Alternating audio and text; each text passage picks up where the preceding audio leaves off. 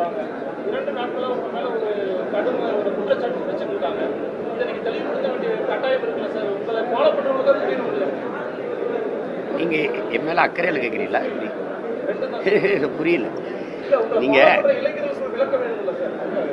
உன் மேல வைக்க தம்பி கே- கேட்டீங்களா? நான் தானே பதில் சொன்னேன். உன் மேல வைக்கிற குற்றச்சாட்டு விமர்சனம் உண்மை இல்லைன்னா நீ விளக்கம் சொல்ல தேவையில்லைங்கிறது தான். இப்போ நான் ஒன்று கேட்குறேன் பாருங்க ஒன்று கவனிங்க.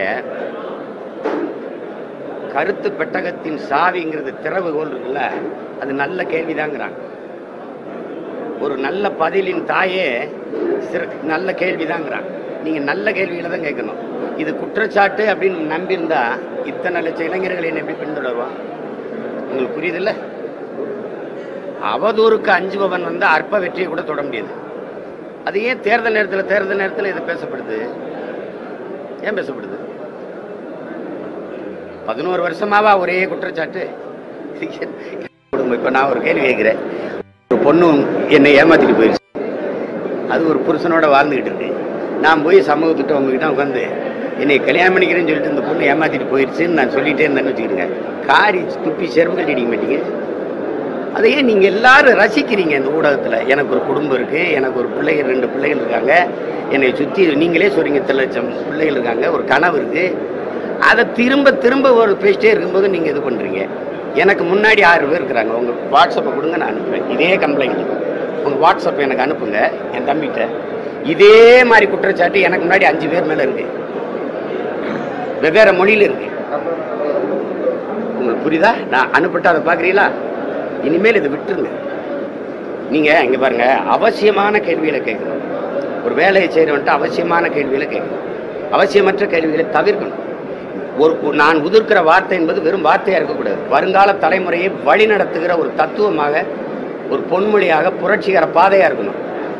அதை விட்டுவிட்டு திரும்ப திரும்ப இதையே சுற்றிக்கிட்டு இருக்கிறீங்க. நீங்கள் அதுக்காக தான் அவங்க அதையே செஞ்சுட்டு இருக்காங்க. என்னை இப்படி திருப்பி விட்டுடலாம்ட்டு நேற்று திருப்பூர் திருப்பூரில் நேற்று கூட்டின கூட்டத்தை பற்றியில்ல அப்புறம் இன்னைக்கு ஒரு கம்ப்ளைண்ட் வரும். நாளைக்கும் கூட வரும். போலீஸ் விசாரிக்கிறதுனா நீங்கள் இல்லை நான் இல்லை இவங்க இல்லை என் தங்கச்சியில் யார் ஒரு மனு கொடுத்தாலும் அது குறித்து விசாரிக்கிறது காவல்துறை கடமை. அதை செய்வாங்க. உண்மையிலே நான் குற்றவாளியாக இருந்தால் நீங்கள் அதுக்கப்புறம் நீங்கள் நடவடிக்கை எடுங்கன்னு தான் நம்ம சொல்கிறோம் அதுக்கு பயப்படுற ஆள் இல்லையே நான். இல்லை என்ன வேற ஊர் ஓடி போயிட்டேனா இல்லை வேற மாநிலத்தில் போய் நிற்கிறேனா அதெல்லாம் ஒன்றும் கிடையாது.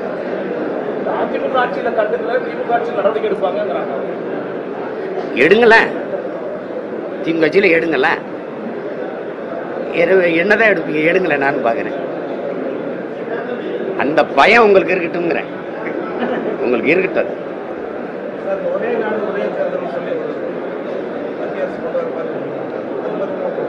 அது பல தடவை சொல்லிட்டேங்கய்யா அது அவசியமற்றது அது தேவையற்றது அது சுத்த பைத்தியக்காரத்தனம்.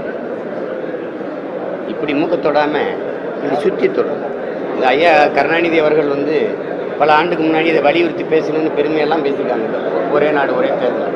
அதனால செலவு மிச்சமாகும். இவங்க தான் திராவிட நாடு கட்ட திருவாளர். மாநில தன்னாட்சி கட்ட பெருமக்கள் இவர்கள் தான். ஒரே நாடு ஒரே தேர்தலில் என்ன நடந்துரும்னு நான் உங்களை கேட்குறேன். நீங்கள் நீங்கள் மோடியாக நினச்சிக்கிறீங்க. இல்லை அமித்ஷாவை நினச்சிக்கிறீங்க. இல்லை இந்த நாட்டின் மிகப்பெரிய தலைவர். நான் உங்க கேட்குறேன். ஒரே நாடு ஒரே தேர்தல். என்ன நடக்கும் இந்த நாட்டுக்கு? என்ன இருக்குது இப்போ நான் நான் நான் ஒன்று கேட்குறேன். ஒரே நாடு ஒரே தேர்தல். இப்போ ஐயா வாஜ்பாய் அரசு கவிழ்ந்துச்சா இல்லையா? கவிழ்ந்துச்சு. அப்போ ஆட்சி கலைஞ்சிருக்கு. இப்போ வெறும் பாராளுமன்றத்துக்கு மட்டும் தேர்தலா? ஒட்டுமொத்த மாநிலத்துக்கும் கலைச்சிட்டு மறுபடியும் சட்டமன்ற தேர்தலா? இது தெண்ட செலவு வெட்டி செலவாக இல்லை? இப்போ ஒரு உறுப்பினர் இறந்துடுறாரு அந்த பாராளுமன்ற உறுப்பினர் சட்டமன்ற உறுப்பினர். அந்த தொகுதிக்கு மட்டும் தேர்தலா? இல்லை ஒட்டுமொத்த தேசத்துக்கும் தேர்தல்? இப்போ ஒரு மாநில ஆட்சி கலையுது. வச்சுக்கிறோம். இப்போ காங்கிரஸுக்கு குமாரசாமிக்கு ஆதரவு கொடுத்து ஒரு ஆட்சி போகுது. அல்லது பாரதிய ஜனதாவுக்கு ஒரு ஆட்சி போகுதுன்னு வச்சுக்கிறோம். அவர் ஏதோ பிடிக்கல வித்ரா பண்ணுறாரு திரும்ப பெறாரு. அந்த மாநிலத்தில் ஆட்சி கலைவு அந்த குறிப்பிட்ட மாநிலத்திற்கு மட்டும் மறுதேர்தலா? இல்லை ஒட்டுமொத்தமாக சட்டமன்றத்தையும் கலைச்சு பாராளுமன்றத்தையும் கலைச்சு இதுக்கு பேர் தான் இந்த குரங்கு கீழே பூமாலைம்பாங்களே அதுக்கு அருமையும் பூவின் அருமையும் தெரியாது. அது என்னன்னு தெரியாது பிச்சு பிச்சு போடும். அப்படியே அவங்க கையில் தேசத்தை கொடுத்துட்டு நம்ம இதை முடிச்சுக்கிட்டு இருக்கணும் இதனால என்ன செலவு மிச்சமாகும்? சட்டமன்ற தேர்தலுக்குன்னு ஒதுக்கப்பட்ட நிதி பாராளுமன்ற தேர்தலுக்குன்னு ஒதுக்கப்பட்ட நிதி. இந்த நிதிக்குள்ள தானே நீங்க செலவு பண்ணுவீங்க? சொல்லுங்கய்யா. ஒரே நாடு ஒரே தேர்தல்னா எப்படி எப்படி செலவு குறையும் சொல்லுங்க. நீங்க முதல்ல ஓட்டுக்கு காசு கொடுக்கறத நிப்பாட்டுங்க. நாட்டின் தேர்தல் செலவு குறைஞ்சிடும் அதானே? அதானே? இது வந்து சும்மா அர்த்தம் முதல்ல ஒரு கேள்வியை நான் எழுப்புறதுக்கு ஒரு ஆண்மகன் நேருக்கு நேர் எழுப்புறதுக்கு இந்தியா ஒரே நாடா? இல்லை பல நாடுகளின் ஐக்கியம் இந்தியா தட் இஸ் பாரத் செல்வியான் யூனியன் ஆஃப் ஸ்டேட்ஸ் இது அரசியலமைப்பு. பல தேசங்களின் ஒன்றியம் அது யுனைடெட் ஸ்டேட் ஆஃப் அமெரிக்கா அது யுனைடெட் கிங்டம் இது ஐரோப்பிய யூனியன். அது மாதிரி இது யுனைடெட் ஸ்டேட் ஆஃப் இந்தியா ரேடியோவே இந்திய ரேடியோ கிடையாது. ஆல் இந்திய ரேடியோ நீங்கள் உங்கள்கிட்ட அதிகாரம் வந்துச்சுங்க திமுறில் ஒரே நாடு ஒரே நாடுன்னு ஒரே நாடா? ஒரே நாடா அது. ஒரே சட்டம். உன் சட்டம் என் சட்டமே ஒன்றா இல்லை. உன் சாப்பாடு என் சாப்பாடும் ஒன்றா இல்லை. உன் பழக்க வழக்கம் உன் பண்பாடும் ஒன்றா இல்லை. என் பழக்க வழக்கம் பண்பாடு ஒன்றும் இல்லை.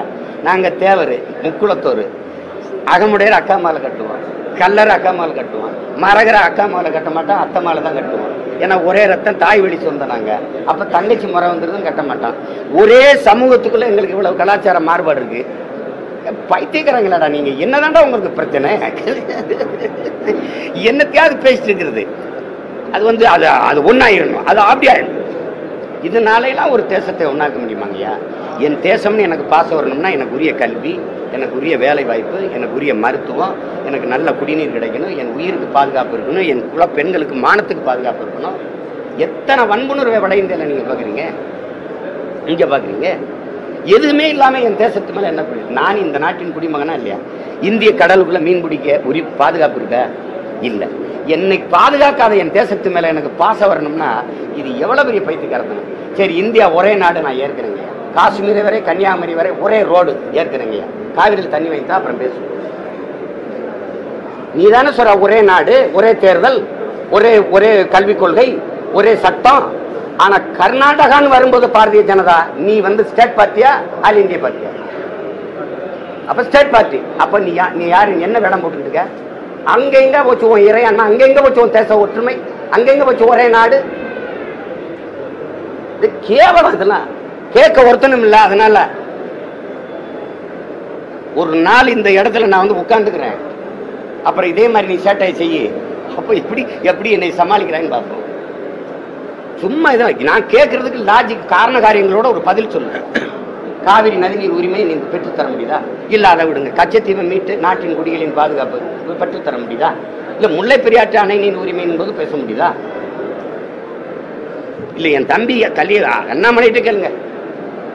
வாட் இஸ் யுவர் ஸ்டாண்ட் அல்லது opinion about Kaveri issue dear பிரதர்னு கேளுங்க. அவர் என்ன சொல்றாரு?